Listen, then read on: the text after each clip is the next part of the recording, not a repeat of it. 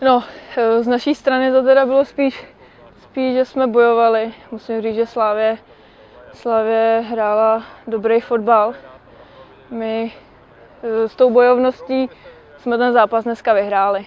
Ale musím teda fakt klobouk dolů před Sláví, protože hrála opravdu dobrý, dobrý zápas dneska. Ale tak to, já bych teda pravdu řekla, jak to byly spíš takový náhody. No.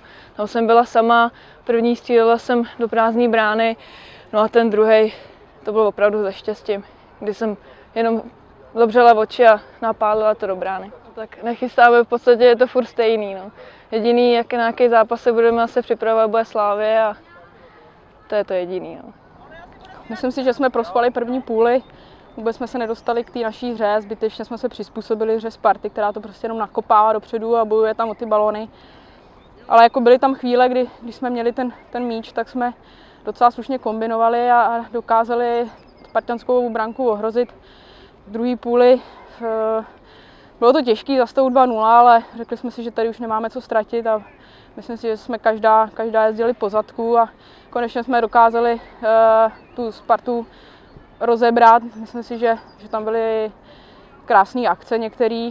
Dotlačili jsme to na 2-2 a, a pak prostě hold rozhodla neskušenost. Určitě no, tak ten čtvrtý ten už nepočítám, to jsme hráli v bank, ale samozřejmě rozhodující byl ten na 3-2, kdy, kdy prostě, když to otočíte ze stavu 2-0 na, na 2-2, tak chytrý manšaft by si to měl už určitě pohlídat, ale prostě doplatili jsme tady zase na neskušenost na naše mládí.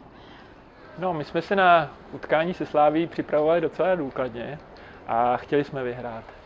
E, věděli jsme o kvalitě Slávě, že možná bude tentokrát techničtější a že bude hrát líp o malinko než my, proto jsme si připravili svoje varianty. A já myslím, že první poločas nám bez, bez zbytku vyšli. Ten druhý poločas už byl z naší strany trošku horší, je to i, že tenhle fotbal, který chceme hrát, je opravdu fyzicky náročný a že nám docházely síly a že jsme dostali poměrně hloupý gol, který si asi Sára Vršatová bude pamatovat do konce života takovýhle gol už nikdy nedostane.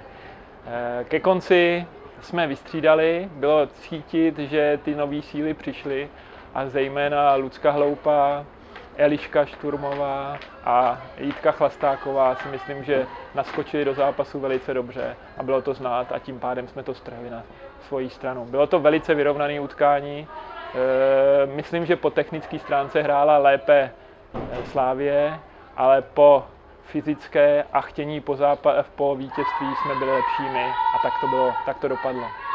Do nástavové části už nechystáme nic speciálního, prostě chceme eh, jednou porazit Slávy a možná i dvakrát a tím pádem získat titul, protože cíl je jediný, získat titul a hrát Ligu mistrů, Ligu Champions League i po odchodu Holek Martinkovi, který samozřejmě scházejí. Do utkání jsme uh, nastoupili, samozřejmě trošku, trošku prvních, já nevím, 10, zase 15 minut jsme se trošku jakoby s tím srovnávali. Bylo to takový, jo, chvíli hrála Sparta, chvíli my. Samozřejmě potom po těch 15 minutách, když jsme se dostali na polovinu jakoby Sparty, tak jsme tam chvíli, drželi jsme je tam nějakých pět minut, pak tam byla trošku v prvním poločase jakoby naše bojácnost, jo, kdy jsme vlastně Eh, když se Sparta dostala na naší půlku, tak najednou jsme byli, najednou jsme byli ustrašení. Naopak, když jsme byli na jejich půlce, tak bylo vidět, že, se, když se dá hrát, hráli jsme, hráli jsme do nohy, dařilo se nám, byly tam pár zakončení.